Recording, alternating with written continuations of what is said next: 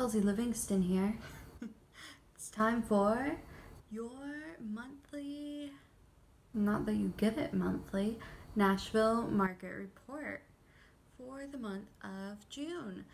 So while nationally the seller's market is seeming to kind of take a little bit of a back step as buyers are becoming more hesitant and overall priced out of the market, we're also seeing a well, it's Nashville not too much has changed. It's a hot place to live. People want to be here.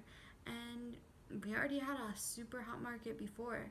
So, overall, the stats show that there are still less homes listed than last year. Uh, keeping that seller's market up as a buyer's agent, you know.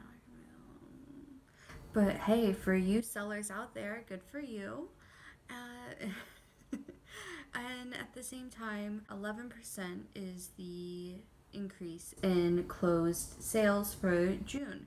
So, while it is still a seller's market, a lot of you buyers are getting out there and getting the homes. With all of the building and overall development that Nashville is seeing, while there are rumors and kind of, you know, that undertone feeling that you just have in your gut that say this can't last forever.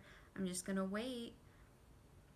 Well nashville's growing rapidly so this might not be the city for that kind of prediction.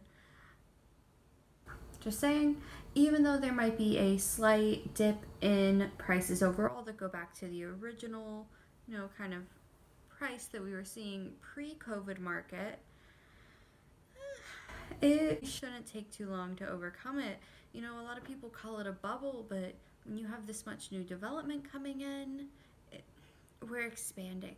We are a city without borders that can expand as long as it needs to. And the overall environment that Nashville provides uh, is a hot it's a hot market and it's a hot culture.